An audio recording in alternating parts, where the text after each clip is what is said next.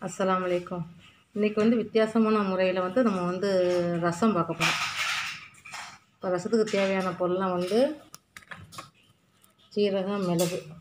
ஒன்று ரெண்டு அடு அரைச்சி வச்சுக்கிட்டேன். அதில் ஒரு கரண்டி இதில் ஒரு கரண்டி. தக்காளி பழம் ரெண்டு.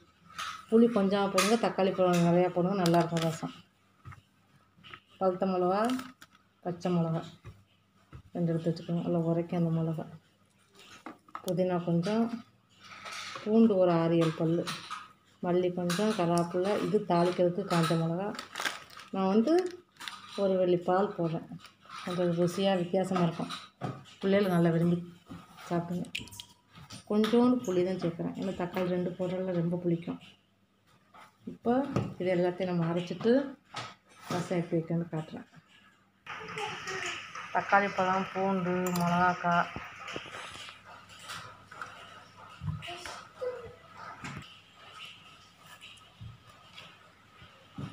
அடுத்து புதினா போடும் புதினா மல்ல நிறையாவே போடுங்க ரொம்ப உடம்புக்கு நல்லது.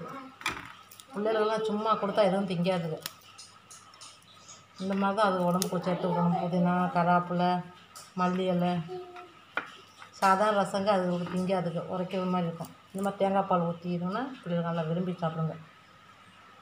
இப்போ இதை மூடி கையை பியலை ஒரு ஒரு நல்ல நைஸாக அரைக்காமல் ஒரு அடி அடிச்சுட்டு அப்புறம் ரசத்தை தாளிச்சிடணும். கொஞ்சம் மஞ்சள் பொடி போட்டுக்கிறோம்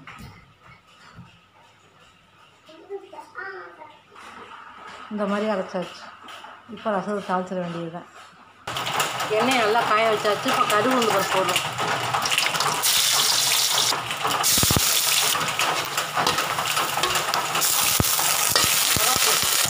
அரைச்சி வச்ச இஞ்சி பூண்டு வந்து லேசாக சேர்க்கலாம். ஒரு வாசத்துக்காண்டி மிளகா பொடி லேசாக சேர்க்கலாம்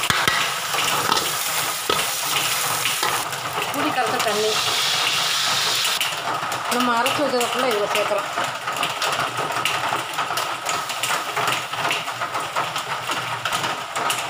தேவையான அளவுக்கு தண்ணி ஊற்றுறோம் அப்புறம் தேங்காய் பால் சேர்க்கலாம்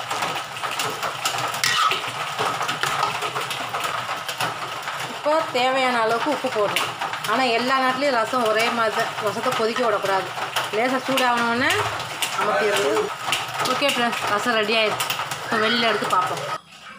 ஓகே ஃப்ரெண்ட்ஸ் வித்தியாசமான முறையில் ரசம் வச்சாச்சு.